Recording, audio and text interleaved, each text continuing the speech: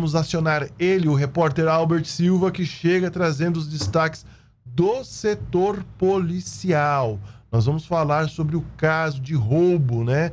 Dessas duas, da, da, dessas jovens aí, garotas de programa, aqui em Três Lagoas, que ganhou repercussão. É isso mesmo, não é mesmo, Albert? Oi, Israel, bom dia para você, bom dia para o Antônio Luiz, bom dia para toda a nossa audiência, uma excelente sexta-feira aí para a audiência que acompanha o nosso RCN Notícia nessa manhã. Pois é, Israel, um caso que chamou muita atenção né, nas últimas horas é, em todo o país, né, sobre é, o que aconteceu aí, né, com essas garotas aí. Uma jovem, começa a história, começa a seguinte, o Israel, uma jovem de 24 anos, ela acionou a Polícia Militar aqui de Transagoas, ela registrou um boletim de ocorrência dizendo ter sido vítima de estupro e roubada após marcar aí um encontro pela internet, né, por meio aí de um site. O encontro foi na residência dessa jovem, que fica aqui na Avenida Filinto Miller, em Três Lagoas. Lá havia outras quatro amigas. No entanto, de acordo com a vítima, quem agendou o encontro foi um homem né, com o nome de André e quem compareceu ao local teria sido Herbert, né? Então, André e Herbert foram até esse local aí. Durante a relação, o suspeito teria mostrado aí, o Israel, um facão, viu? E ameaçado essa jovem, né, que é a garota de programa. Com medo, ela disse que continuou aí no quarto, né, até terminarem a relação. Depois, ela percebeu que uma outra pessoa tinha entrado dentro desta residência, rendido às amigas que estavam em outro cômodo. Imagens do circuito interno de segurança, né, que nós estamos mostrando aí, registraram aí o um momento em que os dois homens estavam na sala e um deles armado, ambos começaram a roubar os celulares e dinheiro das vítimas, portanto, elas foram até a delegacia e registraram aí o boletim de ocorrência. Ontem, Israel, a nossa equipe de reportagem é, entrou em contato com e conversou com o delegado Carlos Antônio Nunes. Ele é titular da delegacia de Boituva, onde os dois lutadores eles acabaram sendo presos, viu?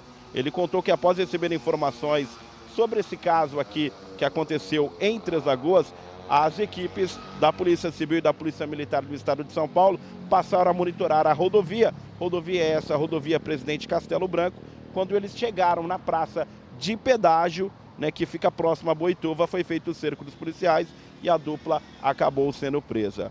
É, pode ser que hoje né, tenha uma audiência de custódia da dupla, né, que está agendada para hoje por volta aí da 1 hora e 30 minutos em Boituva. No carro que foi utilizado na fuga, os policiais encontraram, olha só, 24 celulares e o valor de R$ 3.200 em dinheiro.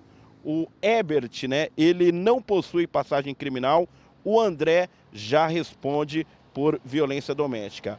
A delegada Letícia Mobis, que é titular da delegacia aqui de atendimento à mulher aqui em Três Lagoas, ela abriu um inquérito, ela vai apurar aí esse caso e esses suspeitos deverão ser transferidos para Três Lagoas ainda hoje. Então se vive uma expectativa para que os dois é, venham para Três Lagoas e ficam presos aqui, vão responder aqui em Três Lagoas.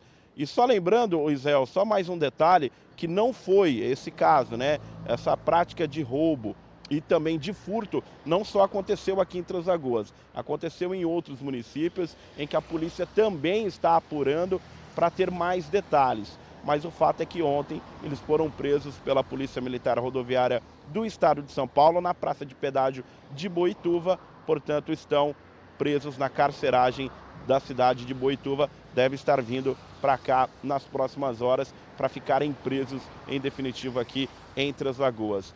Daqui a pouco nós vamos conversar com a delegada né, da Delegacia de Atendimento à Mulher, a Letícia Mobis. Ela vai estar trazendo mais detalhes sobre esse caso, Israel, e a gente volta falando mais aí sobre esse caso que tomou uma repercussão aí nacional com relação a esses dois aí que acabaram vindo aqui para Transagoas é, acabaram aí é, cometendo estupro e roubo né, a essas garotas de programa aqui no nosso município. Israel.